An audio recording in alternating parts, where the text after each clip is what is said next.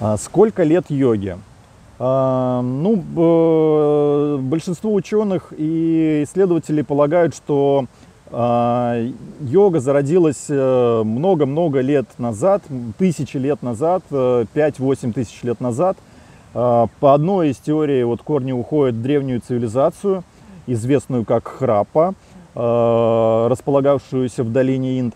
И э, постепенно, постепенно, то есть еще до зарождения письменности, представляете, еще люди писать не умели, но уже хотели э, как-то улучшать свое состояние, улучшать э, психоэмоциональное состояние, физическое. Это была серьезная и, я думаю, подчас жестокая практика, вот, которая оставляла только э, тех, кто вот так без, э, полностью отдавался практике. Постепенно Постепенно это все записывалось, сначала очень маленькими крупицами, и дошедшие первоисточники до нас это уже там э, сотни лет э, назад.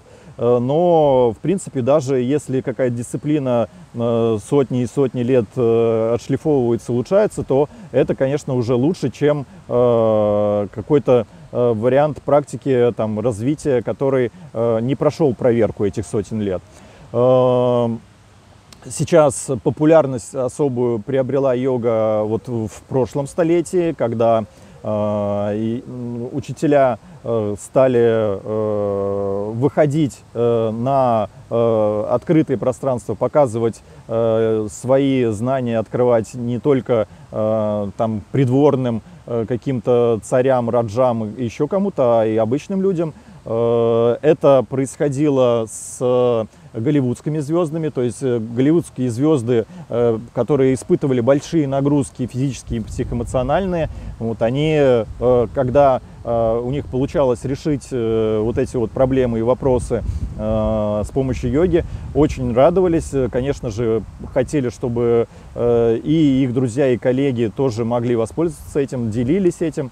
И вот таким образом в прошлом веке, в прошлом столетии очень популярна стала йога. Ну вот, э, много было пробы ошибок, даже вот несмотря на то, что э, йога там имеет, насчитывает э, тысячелетия, но каждый адепт, каждый практик йоги примеряет и находит способы, как практиковать сам для себя потихонечку. Все это отшлифовывается, выверяются, э, выверяется техника безопасности. Вот, поэтому, конечно, э, когда люди говорят, ну, я сам как-то интуитивно, там еще что-то, ну, пожалуйста, сверните себе шею, э, там, вырвите себе колени, еще что-то, а, а потом пробуйте восстановиться тоже йогой, когда вы уже узнаете, что такое техника безопасности. Ну, вот, но сейчас все, слава богу, систематизировано. Вот в нашей школе э, все учтены моменты по безопасности, по эффективности, по тому, как что комбинировать, что делать нельзя, что можно.